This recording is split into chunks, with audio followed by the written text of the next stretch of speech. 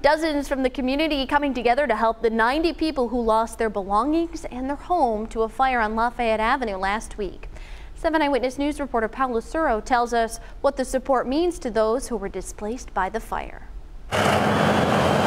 It's been one long week for the 90 people who lived in this apartment complex on Lafayette Avenue. Somebody saying fire, fire, fire. When I go open the doors, the fire department. That's my, my home. My when my twins show up to their life, that was the first apartment we rent. Memories made after years of living there for both Mustafa Abdu and Roberto Roman gone in just hours. It was devastating. We were like a family there. But now the community is helping residents like them get back on their feet. People started contacting us, putting out, calling us, saying, "How can I help? How can I contribute?"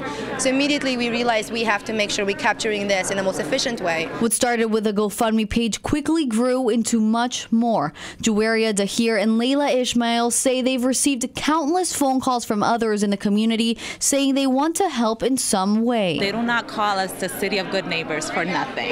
This is a, the, an exceptional example of how we can put all the differences aside, especially with what's going on in this world today, and we just took action. The overwhelming response showed through the tables stacked high with clothes and boxes overflowing with pillows and bedding. Just some of the items the community donated to the victims of the fire. Feeling emotional a little bit right now because everybody's here and everybody is safe and everybody is sharing that love and respect each other. Now this wasn't just a one person job.